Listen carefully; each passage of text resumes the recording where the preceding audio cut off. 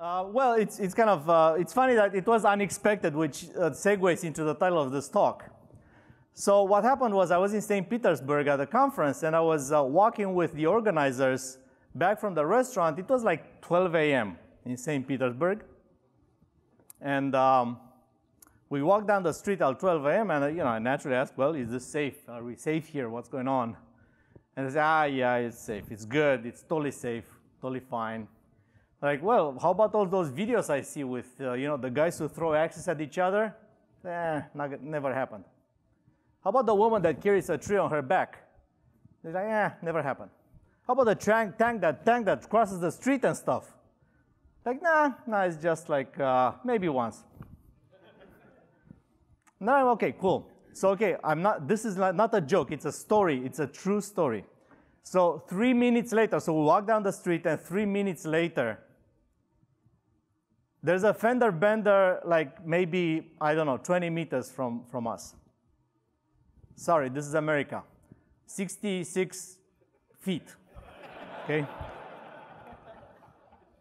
66 feet from us uh, and a half. So it's like there's a fender bender, and we see in real time four guys jumping out of one car and three guys jumping from the other car. And without any introductions, they start punching each other in the face. This is God's honest truth. They start punching each other in the face, like, but you know, that's funny. There's no, it was like choreography. It's like they jump off of the cars and like in a ballet motion, they start, you know, they start hitting each other. Like, how about like get a piece of me, you know, come get a piece of me. All that trash talk, there was no trash talk, right? So they just started, it was like on a cue, they started punching each other in the face. So now it turned out uh, by some, uh, some uh, happenstance, it turns out I was the tallest and the biggest guy in the, you know, there were like two more guys and two women. So it so happened I was the tallest, the biggest guy, so the women hid behind me. And what I said was, Don't worry, you're with me. what went on in my mind at the time was, Oh my God, they're punching each other in the face. And what I should have said was, Young lady, you should know I've never thrown a punch in my life. So if you ever threw a punch at your brother when you're five, you're more qualified than me. And by the way, the 20 pounds I have over the, these two other guys, that's not muscle. So anyhow, so I do recommend visiting St. Petersburg in spite of the story. I think it's a great city. It's actually, it's, you think it's, okay, what's, it's a city, right? So it's a nice city somewhere in Europe. So you go there and I, you know, 30 minutes later, so I got this guide and 30 minutes later I was like, oh my God, this is awesome. So, so much good stuff here. Which brings us to expected.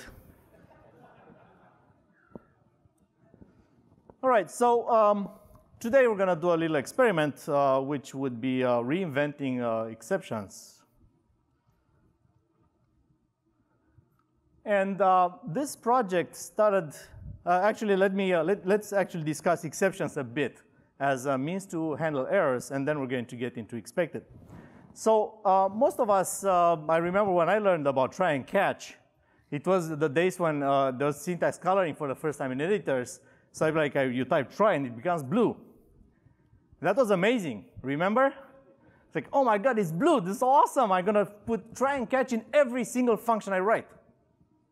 So I was very happy with uh, using try and catch. I, I, didn't take them critically, right? So then there's uh, all of that, uh, you know, all of the, the ordeals that the C++ community went through to discover its way around exceptions, right? So most of us don't took them non-critically. So here's, uh, you know, try and catch and just use it, have a good day, and everything. But you know, we don't know what, you know, what, what are their goals and how do they compare against alternative means of error handling what uh, were the intended use cases? You know, how does the semantics support what we want to get done? And what are the consequences, the new setup of, uh, of the world? So most importantly, how do we write code that is uh, nice exception, uh, you know, uh, compliant, if you wish? You know, there's so many uh, means to choose from, right? Um, well, you know, there's, new, there's a new one too. Yes? Herb Sutter's proposal? Uh, raise your hand. I'm not seeing anything, but raise your hand, please, if you heard of it. Okay, I, I see nothing, but you know, thank you. Oh, you should. If it, this was like 30 years ago and everybody smoked, you like, you know, raise your highlight, you know, your uh, uh, your light there. And anyhow, so essentially, um, what's funny about exceptions and error handling in general is that uh, it's the the meaning of an of an what's exceptional and what's not depends a lot on the context. The same issue may be a completely expected matter in one setup and something that is completely um, not allowed in another context, right? So we want to learn you once and use many. We want to learn one mechanism and use it many times for error handling in general. We want to minimize what's called soft errors and maximize hard errors. So soft error would be an error that doesn't, doesn't go detected immediately. Right, so it's, uh, what would be an example of a soft error? Please shout. I didn't hear that, but I assume you said dangling pointer. did, did that, was it not even close? Okay. File not found. Okay, so we have a dangling pointer error, and it's kind of, uh, sometimes the application actually keeps on trudging along, and it kind of almost works right? So that would be a soft error. And the hard error is it's detected immediately upon, uh, upon it, uh, it's happening. So that's what we're looking for, right? We don't want those metastable states in which essentially all of the guarantees provided by the type system are gone, right? We don't want that. And uh, then uh, essentially you have no guarantee. So it's kind of the application is like really like on, on skids there, right? Not nice. Uh, we, we also want to do things like centralized handling, but also local handling. We want everything, and we want to pay nothing for it. This is C++, come on, right? We want to dial. Whenever I want local, I want local to be nice. But you know, when I don't care about local, I want centralized to be nice. And uh, you go design that, right? And by the way, I want it cheap, right? So um, these are issues, right? These are kind of difficult, uh, difficult design issues for a programming language. We want to be able to transport from wherever the error happened to wherever the error is handled, however much information we want. For example, if it's an out-of-memory error, we want to transport four gigabytes of memory. that, yeah, thank you. That was a joke, yes. Thanks for laughing. Yes, thank you very much. So uh, we want little cost on the normal path. There's going to be more about this later. And uh, we want to make correct code, e code easy to write and incorrect code difficult to write. So uh, starting with a simple example, which is actually will live in infamy, A2I. If you Google for A2I, I think the first hit is like avoid A2I. Why? Because it returns an int. So what? If it return, if it A2I encounters any error, be it uh, it doesn't look like an integer, or maybe it's too big of an integer and doesn't fit, it's going to return the most unlikely integer ever, zero. So then you, it returns zero and you're like, aha, this could be a legit zero, or it could be an error. So then I gotta check. So then what you do is maybe use a regex, which is like, you know, just like 156 times more complicated than A2I. So you're better off just re-implementing the goddamn A2I yourself. right? Not nice. And the problem with A2I is illustrative because A2I covers all of the values of an int. It's a surjection, they call it. So every int is covered by A2I. There is some, there's a string that represents every int. There's no null int, right? There's no int that doesn't exist, right? With float, there is a float that doesn't exist. It's called not a, not a number, right? but we think we don't have that luxury. So not nice. So what do we do about this kind of stuff, right? Well, there's always errno, which, by the way, A2I is not guaranteed to set. Did you know that? I, I, read it, so I, I, I got to be prepared for the stuff so I can make fun of everybody, right? So with Errno, you know, whenever something goes wrong, you set Errno and uh, pray that somebody is going to check it at some point in uh, the lifetime of the application. Uh, it's going to be fairly general. It's going to minimize soft errors. No, because when was the last time you checked the result of printf? It could fail. I mean, come on, right? Invalid file handler and whatever, right? But nobody checks printf. So we want to um, have centralized handling, which Errno supports nicely because it's centralized. We want to support local handling, which it kind of supports. But we can't transport an arbitrary amount of error. It's just an integer.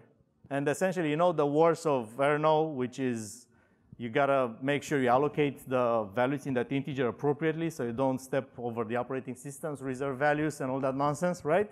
And all the headers and all that stuff. It's a little industry there. You know, I sell Errno values for cheap, right? So not nice.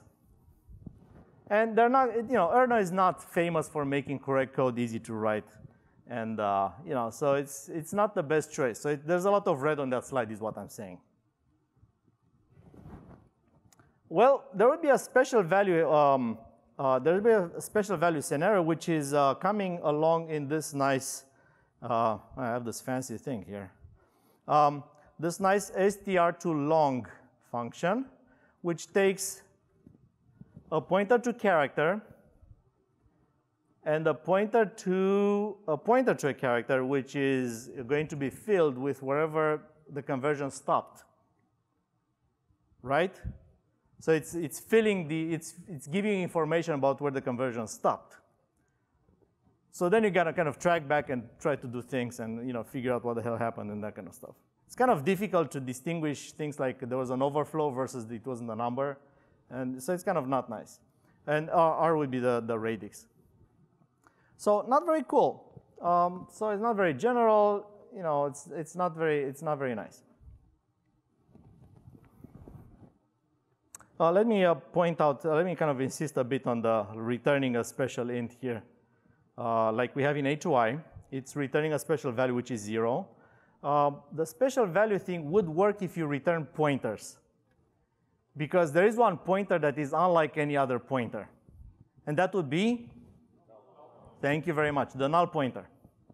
Right, so there's a singular pointer that doesn't point to any value, et cetera, et cetera. So you could actually at the minimum say, well, there's a, there's a singleton, uh, there's a singular value of the pointer, and you know, we, we can do that. But for most other values, you can't. If it's a date, you can't really return. Actually, you could if you really wanted, but there's not, it's not general, there's no generality there, right? So it's not going to minimize soft errors, and it's not going to do good centralized handling. It's only good for uh, local handling. So not very nice. So we have this uh, unpleasant situation too. So now let's actually design together a system that would work and I'm thinking, you know, thinking naively, uh, just, you know, again, like clean the slate, you know, clean, clear up your mind. Take a yoga pose right now, okay? So just think of how would I design A2I if I had like complete freedom and I would design my own language, invent keywords and whatnot. So I'll go with something like, well, there, there must be some type that represents there's an invalid input going on. And then I'd say, well, A2I returns, if there's an order, you see? It's some sort of an, an, option. You know, it's kind of, well, it's either an int or it's an invalid input. Right? But, but this is not C++, right? I mean, I don't need to tell you. Right? It's, uh, this is kind of, uh, I have a dream, right? So then we have, uh, we invent a keyword because we can, type switch, and depending on the result of A2I, we're going to say, well, if it was an int, I'm going to handle the happy case. And if it was an invalid input error, I'm going to handle the unhappy case. And some languages do quite that, actually, right? So that's a nice thing. awesome. Well, there is something, there is a rub here, however. These two types are not um, symmetric they don't, like, you know, here looks like, well, it's an inter invalid input, and it looks like the branches have equal weight. See what I'm saying? The rhetorical question, I know, because it's like, I, again, I can't see nothing, right? So um, rhetorical, see what I'm saying. So it's either an int or this guy, but they have sort of equal roles, except the int comes first. Uh, first. But what I'm looking for is some sort of, I'm expecting, a, so it's a probability thing almost, friends, right? Well, I expect an int, or I don't expect a, a punch in the face, right? I don't expect the error. It's something rare, statistically speaking, and you know, kind of correctness, whatever speaking. So that would be uh, that would convey the fact that these two uh, these two types uh, have an, a built-in asymmetry as far as the function to i is concerned. Right? Right? Thank you. Thank you. I hear. I heard a yes. Thank you. So local code should just simply just plow through it and go with the happy case.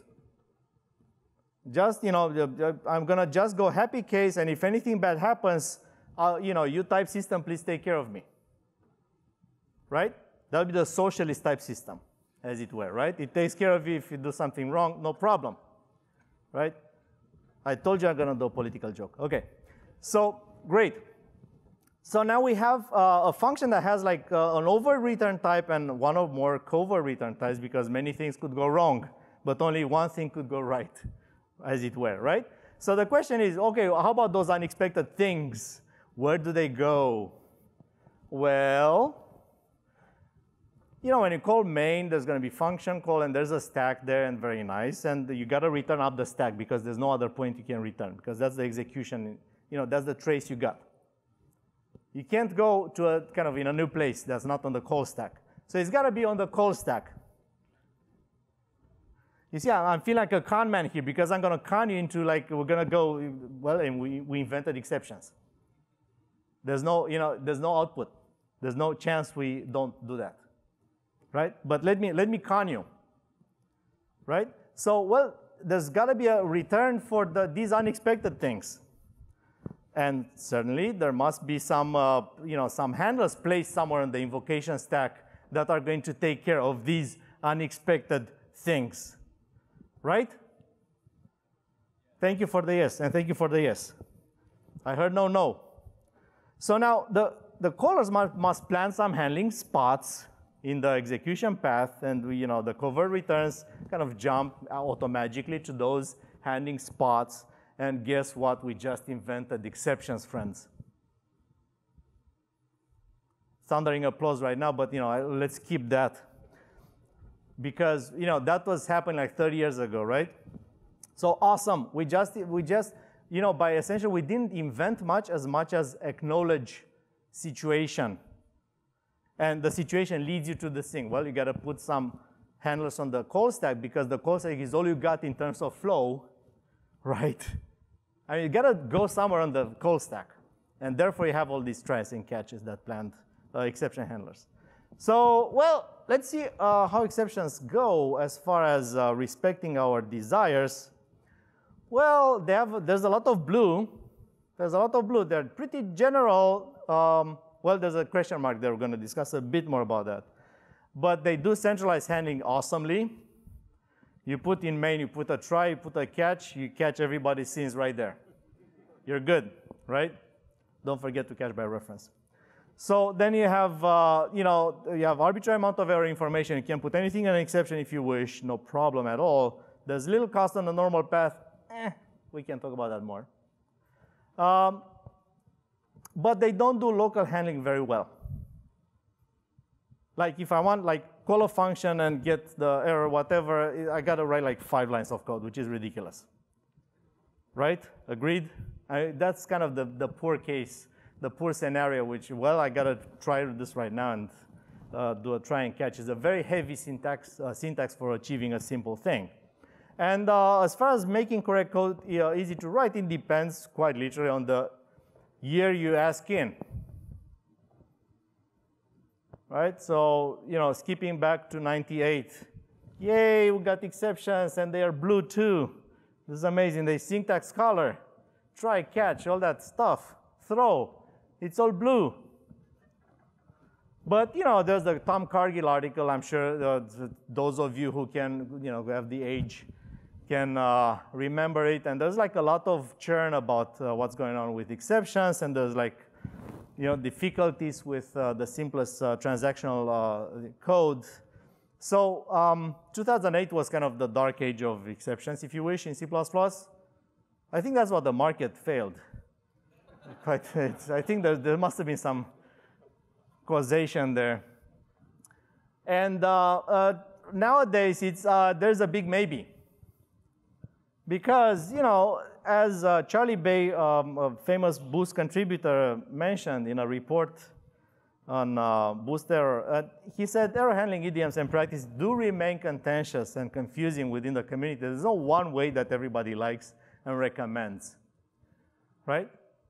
So, well, today we're gonna, we're gonna introduce one more means of handling errors, as if they're not enough. You know the joke with the standards I like about standards that there's so many to choose from.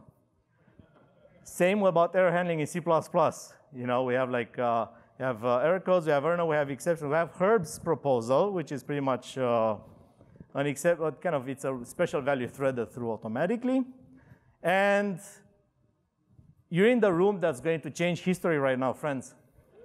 So this is what's going to happen right now. So let's recap what uh, issues we have with exceptions. We have uh, this whole metastable states, which is, I like fancy words, and this is, uh, this is my sin here. I'm saying metastable, and all that stuff is like an application that went like off the rails, my friends, right? It's just, oh my God, nobody knows what's gonna happen next, as I'm sure you know. Um, user must ensure the transaction semantics by hand, and uh, we have the, you know, we have destructors, we have scope guard as possible solutions. Um, we have uh, the whole local error handling uh, issue, which is unpleasant and inefficient. Uh, by the way, uh, let me like, make a quick parenthesis right now. You should know that just enable exceptions in your project is going to make it slower, even if you don't use exceptions. Thank you for the nod, Andre. No, that, there's a guy, Andre. It's not. There's actually a person called Andre who's, who's nodding. Yes, uh, I, I, do see the first row, I, I gotta confess. So the thing is, um, with exceptions enabled, the compiler must generate the entry and exit sequence for each function a bit differently and more you know, bulky. It's more bulky. So it, it can, we've seen at Facebook, I remember, we've seen things like, well, 7%. And 7% could be like quite a lot of power, right? So not nice and people have measured, like it could be like 2%, it could be like unmeasurable, but it could be, uh, you know, quite a few percent. Um, so, you know, when they say like uh, zero overhead exception handling, right? That's not really zero. It's a floating point number. It's just kind of, you know, it's a bit more than zero, right? So um, anyway, uh, parenthesis closed. So now, you know, the whole exceptions and Herb Sutter has these famous examples with like a five-line function that can, could throw like five million exceptions, you know, from five million different paths and all that, uh, all that good stuff. So it's kind of a, a difficult proposition right now. And the, the, least nice of all is that composition with exceptions is tenuous. It's really like bad to, well, I have two exceptions and I want to collect them in a vector of exceptions, and you can't. Only one exception can be active at any moment, but you know I'm lying, right? Because more than one exception can be in flight if you throw within a catch handler, because the exception is not handled unless, you know, until the catch is done. So if you have like a catch and inside you call a function and it has another exception and stuff, there's several exceptions active. And that led to things like, you know, uncaught exceptions as opposed to the useless uncaught exception. Right? Right? Raise your hand. All right, all right. Thank you. Uncaught exceptions. So, you know, that leads, uh, leads us to uh, welcome to my talk. We're just starting right now. So uh, we're going to do with exceptions, we're going to do local handling, we're going to do minimize uh, soft errors, and we're going to do uh, improvements on uh, making correct code easy to write. Uh, but we must start with a few background items. And background item number one is my Wikipedia page. Yes, I have a Wikipedia page. And I have more United miles than you, that you have. But I don't fly United anymore, by the way. It's just they, they punch in the face, right? So I don't want that, right? So I quit. Um, so uh, I was visiting my Wikipedia page, which I never contribute to. I just let other people kind of destroy me. so I was watching, uh, there's this uh, change at some point. Uh, I really, I literally visit like every year a couple of times. I don't follow. But anyway, at some point, there was somebody who deleted all I've done. And what they did was they added something. And it was, Andre is uh, credited with uh, creating the expected type for C++, which is being standardized. And I was like, huh, I should check that out. Honest to God, I had no idea. So what really happened was, like back in the day, a few years ago, I had this uh, idea, which uh, I, I, gave a talk about at uh, C++ and Beyond seminar. And uh, a couple of guys uh, thought, oh, that's pretty cool, so let's uh, standardize that. So um, the rest, as they say, is, is history. The second background piece would be std variant, or boost variant, which is um, the perfect implementation engine for remember we had the overt and the covert type. We have the expected and the unexpected. It seems like they could live in a variant. Agreed? Right? It looks like this like variant is the perfect uh, place to store such a thing, which can be one of two things, but not, never simultaneously. Right? So now we have uh, uh, kind of something that's really close to what we need, which is std optional, which is either something or nothing. But we don't, we don't want something or nothing. We want something or something else, which would be the exception. So it's close, but just you know related, but not re really it. And you can go to other languages, and there's the maybe either monads, which also are nearly there, but not quite yet, not quite there, right? So um, everything of this, uh, all of this is for us to anchor in our mind the devices that we're going to use for implementing this. There's one more uh, which is also like uh, funny, kind of very related. Uh, promise and future in C++, yes? Promise and future are mechanisms for transporting things and exceptions and whatnot from one thread to another. So they focus on the threading aspect. And again, they're very close to what we need. So I'm not going to insist too much on this uh, union types and, uh, and stuff, uh, it's, but it's, it's kind of valuable for uh, for illustration. So uh, we're going to have a discriminated union type, which is pretty much uh, one of, of, two types, T or U, and we have the class either, let's call it, and the union is going to store one or the other and the Boolean. The Boolean, sadly, is going to cost us a whole word because of alignment, right? So it's going to be like uh, the maximum of T and U plus alignment plus the Boolean and that kind of stuff. Fine. So let's define a type std expected, which takes a t and an e. And the t is the expected type, and the e, well, it should have been like e and u. Yeah, should be like e expected, u unexpected, but it's t and e, sorry. So, you know, whatever. You're smart. I mean, you're the best in the world, right? What I, so t would be the expected type, and e would be the error, you know, the unexpected type, which is um, kind of the bad guy in the story. And we want to express this union of the overt and uh, covert type. And in the nice, happy case, there's a valid t in there, and in an unhappy case, an e is there explaining why t could not exist. Kind of, I think it's neat, really. I, this, if at this point you think it's not neat, please go to other, another talk. You know, you're going to hate the rest. So it's either a t or Honey, I can explain. yes? I can explain.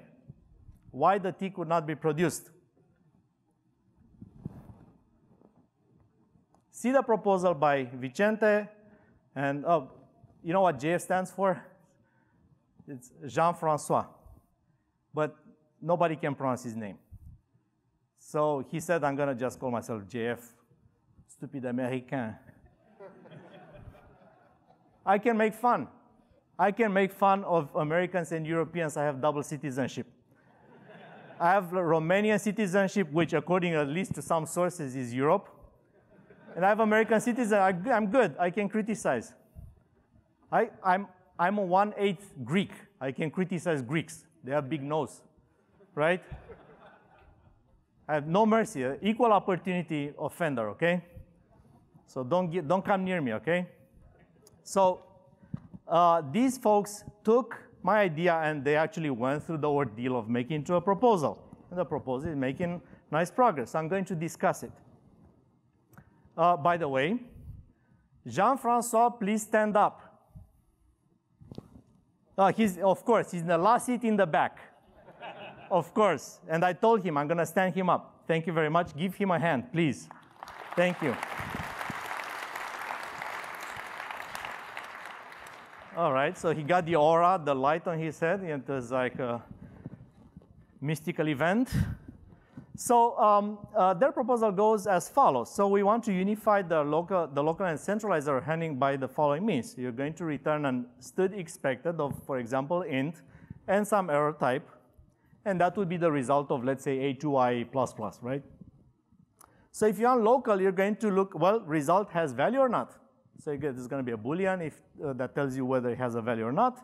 And the simplest idiom that you can use for local error handling is if result, use star result. Right? And that would mean even though it's not a pointer, the expected object behaves like a pointer. you can test it with if, and you can actually dereference it. You can use the arrow, and so it, it's kind of a pseudo pointer if you wish. Now, uh, if you want uh, centralized, you just use result.value. There's a mistake on the slide. You should use result.value. Because in its infinite wisdom, the standardization committee said, if somebody is going to use star result and the value is not happy, undefined behavior. Because apparently there's not enough of it in the C++ language. I'm hearing some laughter. It's not, it's not the laughter that I was hoping for. It's like, ha, ha, ha, yeah, I know, but I'm going to kill you after this. because there's many committee members in this room, and there's many, uh, you know, many folks who uh, are pro the committee members. So let me criticize. There is enough undefined behavior in C++, and you should not have done that. You feel the tension? it's, that's like really nobody's.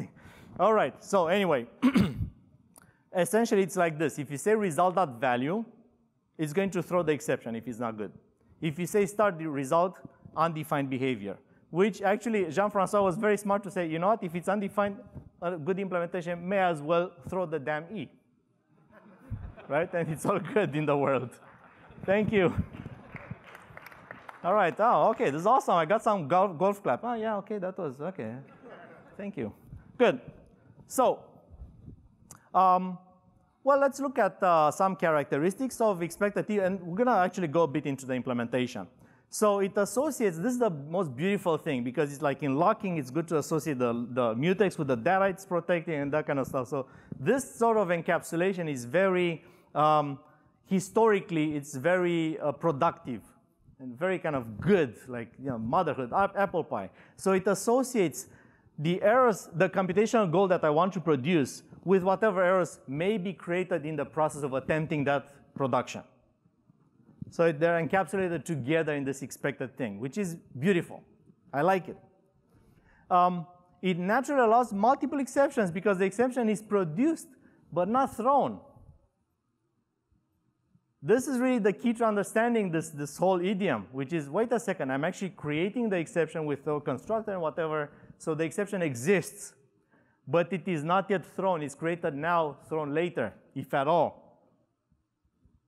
So you can actually do error handling with exceptions without throwing exceptions. That would have been actually a great moment for the golf clap that was before. But you know, anyway. So this is the awesomeness of it. You can actually, uh, yeah, so now we have, we can have a million exceptions if we wanted. We could have a vector of exceptions. We could have an STD uh, map of uh, mapping strings to whatever you want, right? And then, you know, you can transport them across threads, no throw, whatever, across time, saving, saving now, throw later, etc., etc., etc. Collect group, combine exceptions. Actually compose programs that use exceptions because you can't compose by throwing. You can't build by destroying. It's basic, right? It's basic, uh, I don't know what, right? Okay, so let's look at the implementation. so I have, uh, as expected, okay, that was an unintended pun. Uh, we have a template with two arguments, t and e, and we have a union containing a t and an e, uh, yay and nay, and we have a boolean okay, which we initialize the optimistic way. We go with the notion that by default, the expected is going to happen. I mean, even the vocabulary goes that way.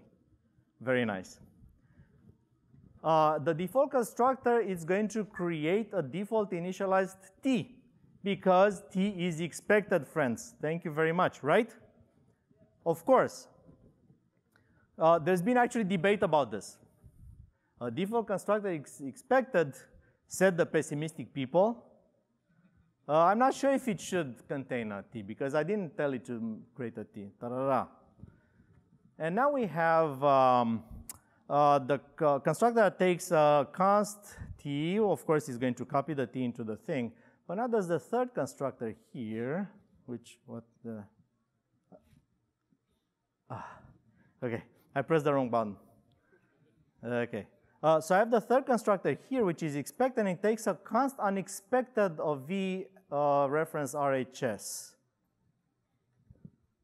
Where did that unexpected come from and what is it doing? Any, if you have an idea, you can raise your hand. I'm not going to call you out, but raise your hand if you have an idea why that could be the case. Why do I need a wrapper around the E type that's called unexpected? I see a couple of hands. Awesome. Okay, I have news for everybody else. Here's why because you should be able to have a template that is, has a, you expect an int, but the error code is also int. I mean, int is a very, like, it's a classic error code return uh, result. So I could have an, I expect an int, but the error code is also an int. So then I need to distinguish between the constructor of the happy case and the constructor of the unhappy case. So I'm going to wrap that int into a completely unremarkable type, which is called unexpected. But wait, you ask, what if I want to expect the unexpected? That's where the paragraph comes and says you can't expect the unexpected. That's illegal use. Done. By law, it's forbidden. So that's very nice. They thought of everything but you gotta have that unexpected type. It's completely unremarkable. It just wraps a type and it has like, give me that thing, and that's the only interface it has. It's important just to tag the value of uh, E, uh, the type of E.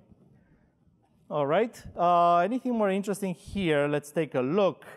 Uh, we have the move constructor and everything with, uh, with uh, the um, universal reference here. I said universal, not forward. Um, I'm not going to comment anymore about that.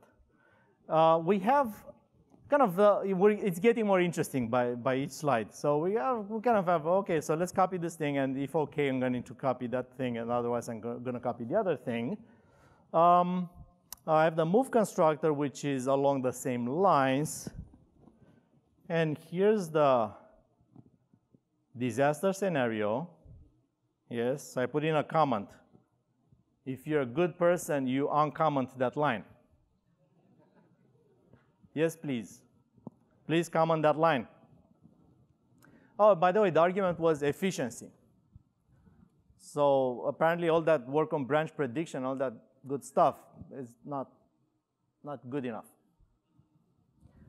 Anyhow, so we have like a, a, number of overloads and all the jazz. I think actually in the real, in, in uh, Jean-Francois implementation, like eight of them, uh, quite a few. And we have the operate the dereference operator, and we have give me the error, please. So that would be um, I'm fetching the error. And again, I think it has undefined behavior if uh, there's no error there. And um,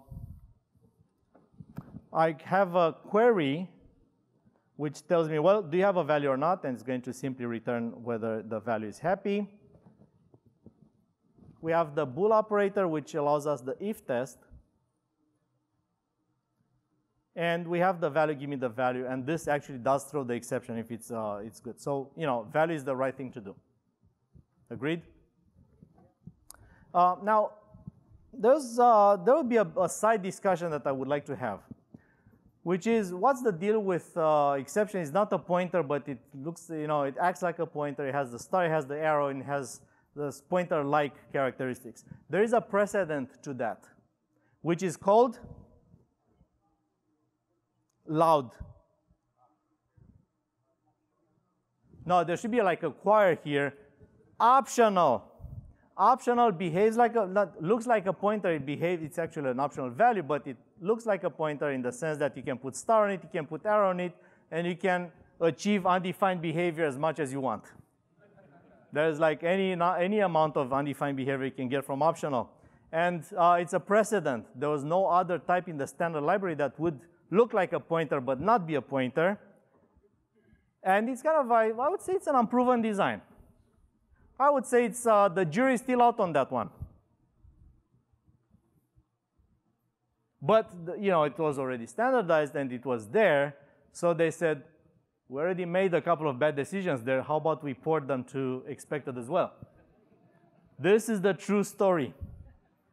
It, optional was like the perfect legal uh, uh, precedent that they say, oh, well, we have all of these bad things here, all of these awful things we're doing here. Oh, you have this proposal, please do this thing in expected as well, and we're going to accept it. By the way, you have the power to protest. This is not approved yet. Is probably after this talk is never going to. but you can actually you can actually you know uh, call your local representative and uh, tell them you know I, I, would like some more defined behavior if possible. I'm hearing something. I'm going to ignore it. Um, at any rate, the most interesting function I had to write, and I actually found a bug in, the, in uh, Vicente's and Jean-Francois' proposal, um, which is the swap function, which is very funny because you must swap two values that may have actual different types because one might be uh, bad and one might be good. So let's go with uh, looking at swap. I'm going to skip the signature for now, friends. So I'm going to go, see, this is like a long enable if t with uh, a complex, you know, quite complex Boolean condition here. But let's ignore that for a moment. And let's uh, handle the easy cases. Let's handle the easy cases. The easiest case is uh, both are good. If OK and RHS OK, then there's two good values and we're going to swap the yes. With me? Thank you. So uh, if if uh, one is this is kind of the uh, I'm, I'm, this is kind of a um, I'm simplifying my life here because here I say oh I'm going to do this later. Yeah, I'm swapping the swap piece. I'm saying I'm going to solve this later. You know, in the sales case, it means the first is good and the, the second is bad. I'm going to say, oh, let me handle it later so I don't duplicate code. Um, then, uh, if my uh, me, this is not okay, and RH is not okay, again, I just swap the nays. So that's again easy. And else, here comes dragons. This is the difficult part. The dot, dot, dot here is the difficult part. Because I need to swap I know that um, one object is a T and the other object is an E, and I need to swap them really carefully. And it look, it's like two drivers, two cars driving, you know, 100 kilometers, sorry, 60 miles an hour, and they need to kind of jump each other, and you know, there's two different drivers in two different cars. It's a difficult proposition. So let's take a look. And kind of, you know, it takes you a bit of like, um, you gotta think of it a bit. It's not easy. So what I did was, well, let me actually create a temporary. I'm going to move from my name. I'm bad, the other guy is good, right?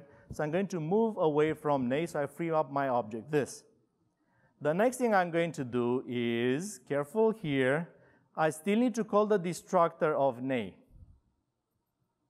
Even after a move, you still have the civic duty to call the destructor for absolutely no reason, because nobody's going to be out of their mind to leave something interesting that needs to be destroyed carefully.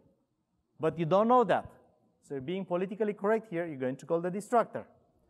After move, the object in a, is in a destroyable state, etc., etc., yada, yada, yada. Correct? Okay, now we got to destroy that guy. So at this, at this point, this, my object, is empty and ready to receive new content. what we're going to do now, fine, I'm going to put true in OK, so I'm going to make it a good object, right? And I'm going to, uh, sorry, before OK, I'm going to trans transfer the content of the good object from RHS into this by means of a move constructor and the placement new. I'm, I'm sure I'm being followed here, but I'm talking a vacuum. So please give me a, like a yes. Okay, Jean-Francois didn't say it. I, he I heard you not saying. So now, I'm going to, after the, the move constructor has succeeded, then I can safely just set the, the flag to true. And at this point, right after OK equals true, this is in a good state. It has the final state that I'm looking for. After that, I'm going to say, well, uh, let me uh, go on the other side. And at this point, RHS is, uh, you know, it's, it's, ready to receive the new things. So I'm going to call uh, the T destructor. As I said, we got to do that because that's a nice thing to do. And then we're going to uh, initialize it from, by moving from T, the temporary we just had on the stack. And at the last, uh, as the last, the last act here, we're going to set the flag to false. And at this point, the swap is done. Now, you know, you gotta figure that if any of these throws an exception, not good. It gets pretty tense, right?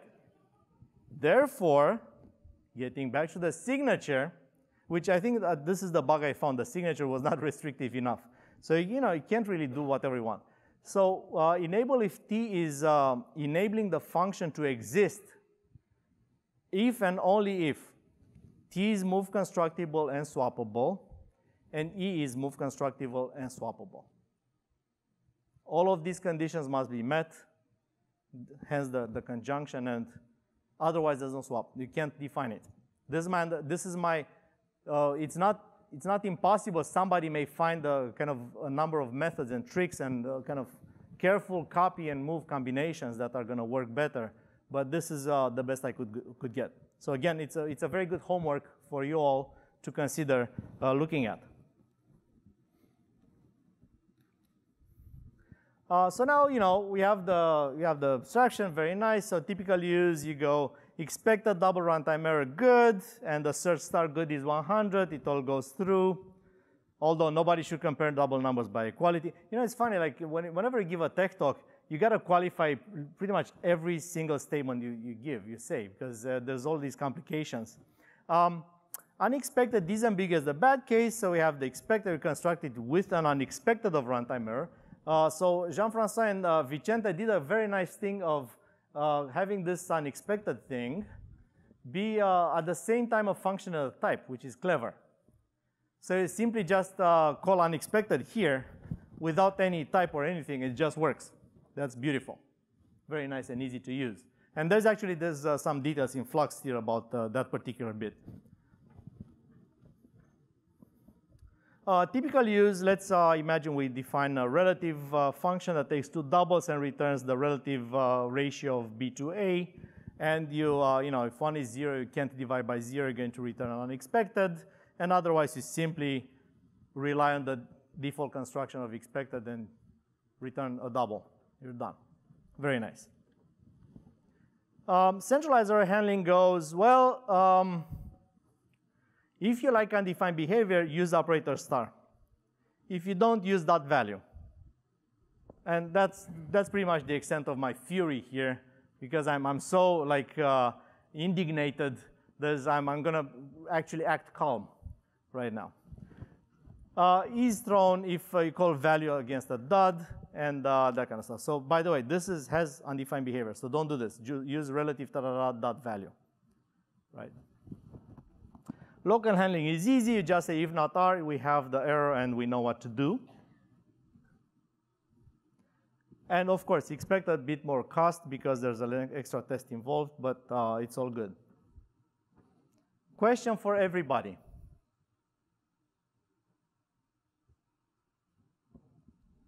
You know, once I walked into a forest and the tree fell, I didn't hear it. What happens if you have, if you call a function, it fails to produce the result, it returns an actual exception, but you never look at the result. So essentially, expected is a contract that says it's either a T or an explanation for the failure of producing said T.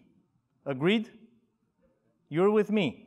Now, I call a function, gives me an expected, and it turns out I don't need it. Well, if I don't need it, I don't care if it could not be produced. This is the gist of lazy evaluation. It's beautiful.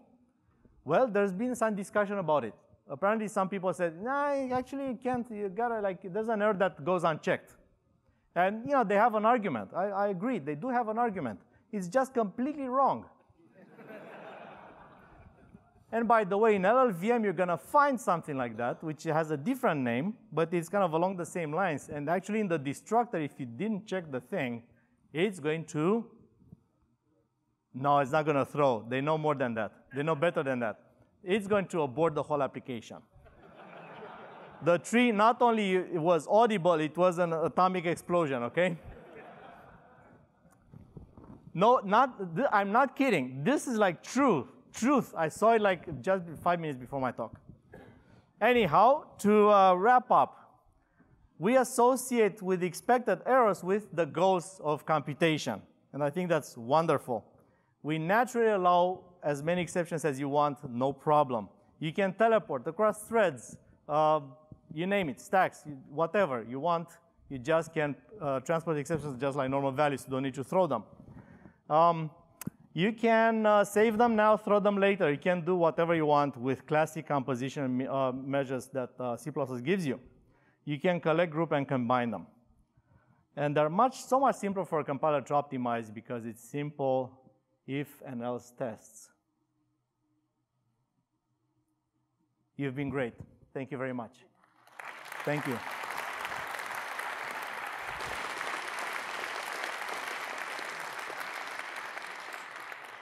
Do we have time for questions?